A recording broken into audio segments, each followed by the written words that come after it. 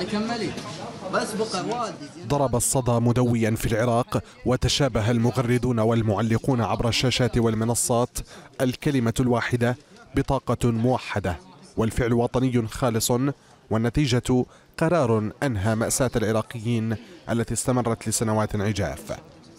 والفاعل رجل وطني كما وصفه العراقيون والكيفية جهد أوفى به رئيس الوزراء وعده وكلله وزير الداخلية عبد الأمير الشمري بالإنجاز الذي كان وطنيا تاريخيا في حسابات معاناة العراقيين.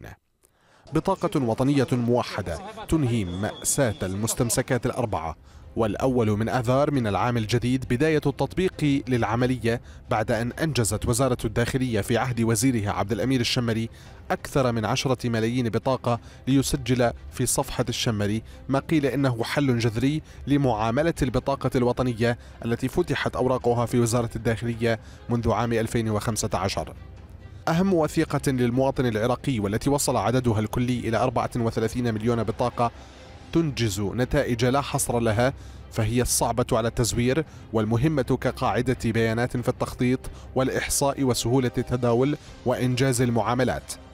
أنجزت المهمة إذن بنجاح وبما يحسب لوزير الداخلية عبد الأمير الشمري بتسجيل النجاح القياسي والعلامة الكاملة في أن يخطو العراقيون نحو اعتماد بطاقتهم الموحدة بالإضافة لإنجاز 43 وثيقة رسمية تخص الجواز والإقامة والهوية الوطنية وبطاقة السكن. ومن هنا يحسب في برنامج السوداني الحكومي تسجيل بصمة القرارات الوطنية التي تحولت من الورق إلى الميدان. وحولت معها حياة العراقيين أكثر من أي وقت مضى إلى بر التطور والأمان.